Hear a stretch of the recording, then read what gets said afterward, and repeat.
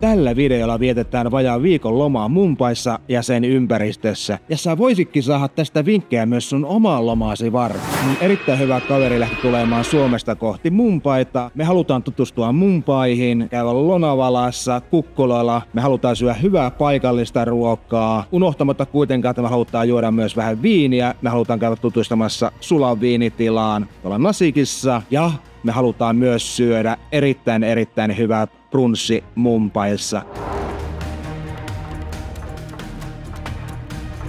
Ennen kuin me lähdetään Mumpaihin, me lähdetään käymään pikku autoajelulla sitä ennen.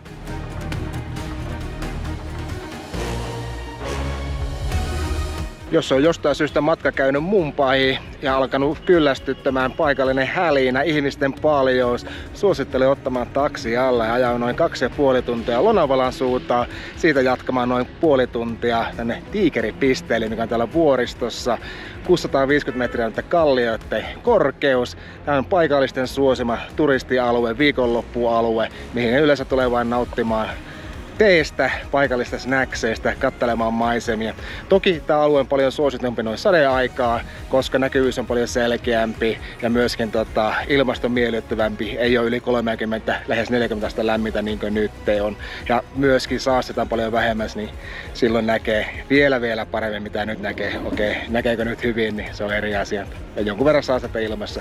Ei mitään kummallisempaa täällä, muuta kuin rauhallisuutta, paikallisia snäkejä saa tosta sekä totta kai maisemista nauttia. Ja mulle mikä tärkeintä, ei kuulu niitä tyyttääkseen ääniä koko ajan. Paljon paljon rauhallisempaa kuin tuolla kotona. Tekee hyvää välillä käydä täällä. Tällä ressulla en ajatellut ottaa mitään snäksiä tuosta, mitä ajattelin, että seuraavaksi ottaa vaikka yhden oluun tuohon Lonavalaan yhteen hotelliin. Lähdetään sinne.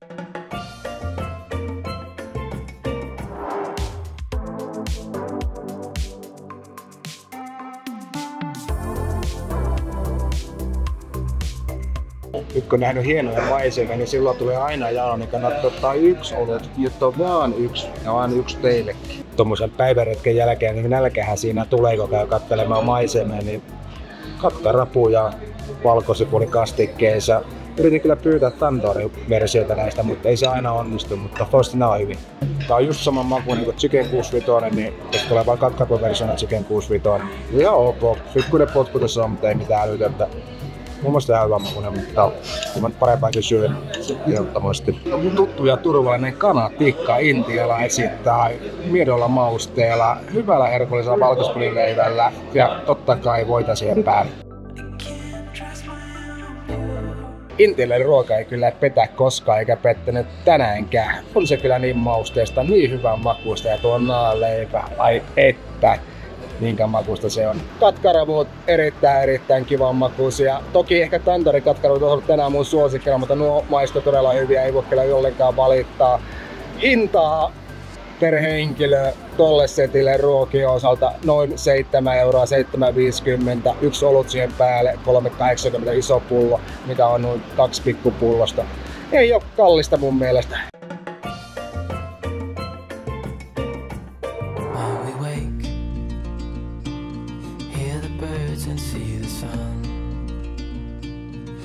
By side our fears are done? All the good times just begun Yksi hyvä päiväretkekohde on myös Mumpaissa se, että tulee käymään Nasikin viinitilalla, johon joutuu ajamaan kyllä tosiaan neljä ja puoli tuntia Mumpaista. No täältä löytyy Intian viinipääkaupunki ja tällä hetkellä ollaankin Nasikissa ja Sulan viinitilalla, mikä on ehkä se Intian tunnetuin brändi ja isoin. Tarkoitus tälle päivälle on kierrättää tilaa, ehkä nauttia muutama viini ja nauttia tästä kyvästä päivästä. Toki lämpötila on 36 tällä hetkellä, että vähän tuntuu kuumalta, mutta on täällä onneksi varjoisia paikkoja, niin kyllä täältä sitä sujuu ihan hyvin. Lähdetään katsomaan tällä näin. Tänne Sulan viinitelalle maksoi näin viikonloppuna sisälle tuhat rupia, mikä on noin 12 euroa. Mutta siitä noin puolet sai käyttää sitten palveluihin ja puolet ruokaan ja juomaan, eli sen rahan saa takas. Me päätettiinkin lähteä opastettelun viinitila kierroksille, mikä oli tosi informaatiivinen ja vielä lopuksi siinä saatiin maistella kuutta eri heidän viiniä. Suosittelen kyllä kovasti käymään tuon kierroksen. Siinä saa hyvää informaatiota ja toki kiva vielä maistella kaikkia viiniä lopuksi. Tosin porukkaa siinä kierroksella oli paljon, mutta aika sulavasti se koko kierros meni. Pientä oottelua meillä siinä oli, mutta sehän kuuluu vähän Intia, että aina on vähän jossakin ruuhka. Viinitilan kierros on siihen vaiheessa, että on ruokailuhetki ja mitä sitä Intiassa muuta söskeä kuin pizzaa. Ja se syy, miksi otin pizzaa, on se, että menulla oli vähän tuotteita, niin piti ottaa pizza. Eikö ollut looginen syy? Tämmöistä kanaa, pizzaa, reilusti vetoa juustoa ja paprika. Eikö se riitä? Täytyy sanoa, että oman parempaankin pizzaa syönyt, mutta tähän hetkeen tämä toimii erittäin, erittäin hyvin. Nyt otetaan pizzasta, juo vähän viiniä ja sitten lähdetään jatkamaan matkaa. Seuraavaa turistinähtävyyttä kohti. Sijoittavat se lähempänä kuin luuletkaan, tai minäkään tiedä. Sulan viinitila on perustettu vuonna 1999, eli kyseessä on aika tuore viinitila. Se sijaitsee Nasigin alueella, koska siellä on oikein suotuisa ilmasto viiniviljelylle. Siellä on kuivaa ja kuuma ilmasto, jossa on merkittävä lämpötilaero päivän ja yön välillä. Nämä olosuhteet ovat ihanteellisia viinirypäilen kasvattamiselle ja laadukkaan viinin tuottamiselle. Nyt me lähdetään katsomaan se meidän seuraava yllätyskohde. Semmoisen lisävihjeen mä voin antaa teille, jos olette käymään tuossa sulaa viinitilalla, niin tässä on kaksi muutakin viinitilaa, jotka on tosi paljon pienempiä, mutta niin rauhallisempia ja näissä on ihan myös kiva käydä, niin ensimmäisen paikan nimi on York viinitila. Niin nyt ollaan siellä, käydä maistaa muutama viini tuossa ja sitten ehkä kotia. Mutta jos tällä videolla ei mennä sille kolmelle viinitilalle, niin se nimi on Soma, mikä on tosta Jorkin viinitilalta ehkä noin kaksi kilometriä ja Sula viinitilalta semmoinen kolme ja puoli kilometriä. Suosittelen kyllä ehdottomasti käymään se kaikissa kolmessa viinitilalla, jos tuutte käymään Sulankin viinitilalla. Ottaa vaikka yö yli hotelli tähän ja sun muuta, niin paljon kivempaa, ei tarvitse matkustaa koko päivä autossa. Itse tuo Sulan viinitila omistaa myös tämä Jorkin viinitila. Tämä Jorkki oli aiemmin perheyhtiö ja noin 2-3 vuotta sitten ne Sula osti sen pois. Sula on muuten listautunut pörssiin 2022, eli Intian pörssiin 2022. Viinikulttuuri koko ajan nousee Intiassa. Kiva nähdä, miten tämä kehittyy pitää muistaa, että viinikulttuuri on hyvin, hyvin tuoretta Intiassa. Noin 20-25 vuotta sitten suurin piirtein tämä business on alkanut. Ollaan aika lasten kengessä. Mutta täytyy sanoa se, että maku on parantanut vuosien äärellä todella, todella paljon. On toki vielä matkaakin, mutta kyllä muista osa on ihan, jo ihan hyvä plus juotavia. Eli mitä edullisia nämä viinit täällä on, että halvemmalla vi- viskipullon. Esimerkiksi tuossa ostettiin pari pulloa punaviiniä, jos 20 euroa pullo. Viskipullo maksaa 700-800 rupiaa suurin piirtein Tää on vähän tämmöistä kalliimpaa harrastusta, mutta kiva käydä näissä ja kiva rauhallisuus täällä on ja kivat maisemat täällä ja kiva ilmasto täällä on.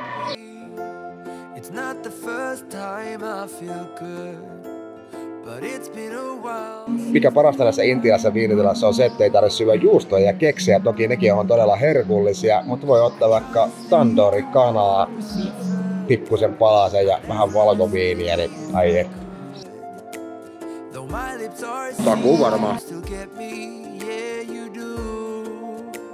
That's why I said that we should be more than a couple. Aina kun käy viinitilalla, niin kannattaa ottaa muutama matkamuisto sillä, että muistaa missä on käynyt. En mä tarkoita sitä, että olisi juonut liikaa, mutta näitä on kiva maistella joskus myöhemmin ja istua sohvalla ja miettiä, kuinka kiva matka sulla on ollutkaan.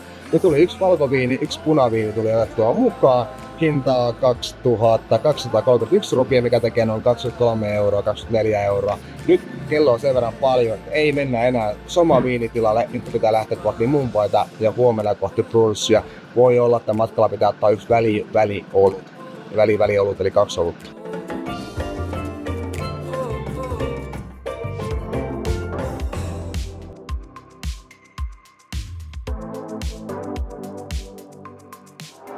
Eihän siinä montaa kilometriä mennyt, kun pääsi syömään vielä butter chickenia, mikä on hyvin tunnettua ruokaa varmaan teille kaikille Suomessakin. Ja siihen vielä vähän leipää päälle, niin ai että, kyllä tällä jaksaa matkoa sitten mumpaihin. No huh, huijaa, kyllä vähän toimii ihan todella hyvin. Ei ole kyllä mitenkään niin tulista, ehkä pikkuinen potku sitä tulee. Totta kai voimakua sitä pitää tullakin, onhan tämä nimi voi kanaa. Hyvä on leipä, ei ole naanleipää, mutta on vähän niin rotin tapasta leipää, mikä vastaan pannulla ja reilussa voissa, niin kyllä se maistuu hyvälle silloin aina. Iso rasva tekee hyvää. When I lead you to the dance floor, you should know I hope for more. Ever since we parted, I've been trying to ignore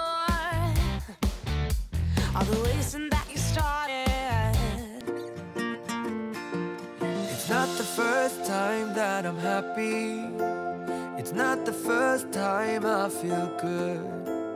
But it's been a while since that happened. Knock on wood. I try to stay cool on the surface. Nyt on vihoja viimein viinitalta päästy pois. Oli vähän pitkä matka, ruokaa oli paljon ja taisi olla kello yksi yöllä, kun pääsin kotiin. Ja Ehkä se olisi parempi ottaa yö yli reissulle, on enemmän aikaa olla siellä, nimittäin se tunnelma on tosi tosi kiva. Mutta hei, nyt on uusi päivä. Ja ollaan saavuttu sunnuntai Brunssille lentokentän lähellä olevaan hotelliin, minkä nimi on J.W. Marriott. Tämä on viiden tähden hotelli ja tämä Brunssikin on vähintään viiden tähden brunssi. Iso brunssi, tuntuu ainakin että sata nimikettä tuossa olisi buffetissa erilaisia ruokia tarjolla. Hinta en muista, mutta se on ehkä 30 tai 40 euroa suurin piirtein sisältää juomat. Katsotaan, vedetään maisto, mä tiedän valmista hyvälle, enkä tule tuomaan kovin paljon täällä, mitä monta siltä tänään nauttia tästä brunssista kaksi tuntia, kolme tuntia. Siinä brunssissa oli niin paljon ruokaa, että ei tiedä mistä aloittaa ja mihin lopettaa. Keskityin tällä kertaa enemmän alkupaloihin, niin kuin suseihin, oha hummusta, vähän salamia ja niin edelleen. Siellä on myös erikseen iso valikoima erilaisia intialaisia ruokia. Jätin ne tällä kertaa vähän vähemmälle, koska niitä tulee syötyä muutenkin paljon enemmän. Mutta tuommoista salami, juustoa, ei ole yleensä tarjolla niin helposti. Okei, juustoa löytyy kaupasta, mutta salami ei kyllä kovin helposti. Nautin brunssista täysin siemauksui, juttelin mun hyvän kaverin kanssa siinä ja vaihdettiin ajatuksia.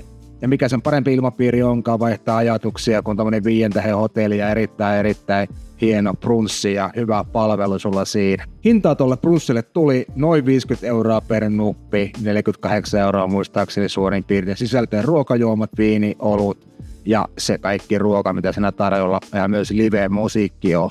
Nyt lähdetään käymään katsoa Mumpassa muutama paikka.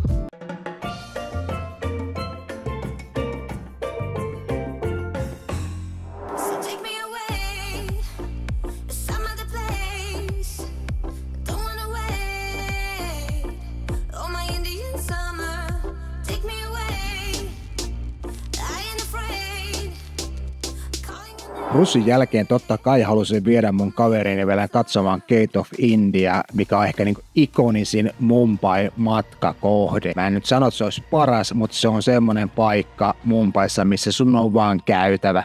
Se on niin kaunis riemukaare, sijaitsee niin kaupungin eteläkärjessä ja on Mumpain ehdottomasti suosituimmista nähtävyyksistä. Vaikka tuo liikkuminen on haastavaa, julkinen liikenne ei ole vielä sillä tasolla, mitä se pitäisi olla isossa kaupungissa. Me päätettiin vaan olla tässä Kolapan alueella ja käydä tuossa Marina Drivella kävelemässä ja katsomassa paikallisia markkinoita. Olihan mulla todella hauska loma ja kyllä se aina piristää, kun kaveri tulee käymään Suomesta saapua Suomeen ja saa näyttää sille, miten mä asun täällä ja mitä kaikkia mahdollisuuksia täällä onkaan, mitä me voidaan tehdä. Ja ymmärtääkseni hänkin kyllä tykkäsi täällä käydä, kun laittoi viesti, että hän voisi tulla tänne uudestaan myös.